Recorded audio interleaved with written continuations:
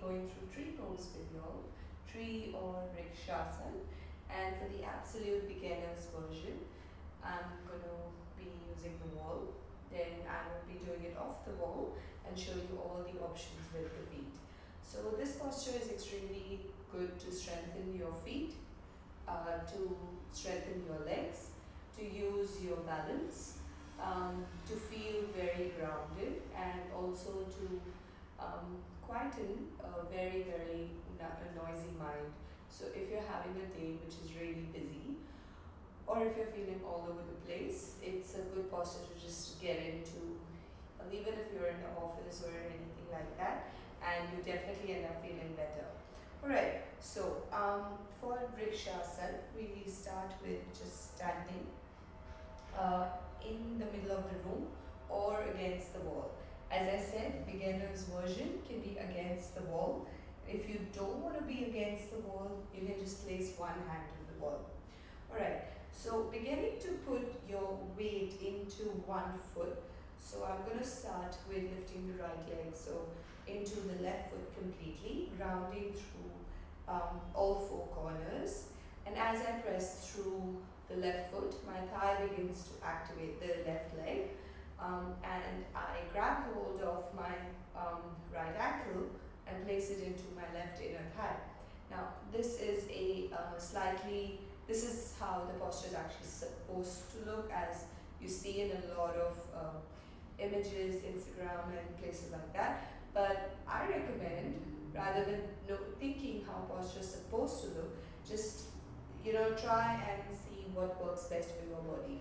So if you're just starting off, tree can even just be this way. So your toes are brushing against the ground and your heel is up against the left ankle. That's one.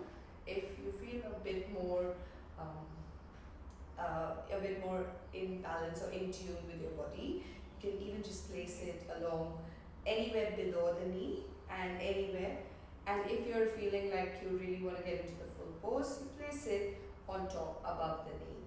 Now remember that you don't have to jut your knee open completely or your hip open completely. You can just keep it at an angle there. So it's sort of just facing uh, like a slant here. And then pressing down through the left foot, palms can be at heart center. Now remember that you don't want your shoulders to be like um, tense or you know, while you're trying to balance out too much. So just try and feel yourself absolutely ground here, left leg very active. You can keep a micro bend in your left knee while you're doing this posture. As I said about the balance, I'm going to switch my legs now, so just for keeping my body balanced. Now say I put it into, uh, I'm absolutely not comfortable in the center of the room. I can just release my back against the wall. Or this is just a very psychological thing because you feel like you've got a lot of balance or you're holding onto something. So you just place one hand on the wall and one hand on the hip. That's your choice. Now, if um, you want to play around with your hands as well, I'm going to show you that option. Obviously, that's secondary. You don't have to think of that too much. Now, your palms at heart center is one, as I said. If you're really feeling like you want to just throw your arms up in the air, you can do that. But just allow them to release. Or some people even um, like to cup their elbows at the back. And if this is if this is one option, the other option B, you can even join your palms in Namaste at the back. So it depends on how you're feeling in your shoulders, taking any of the arm variations.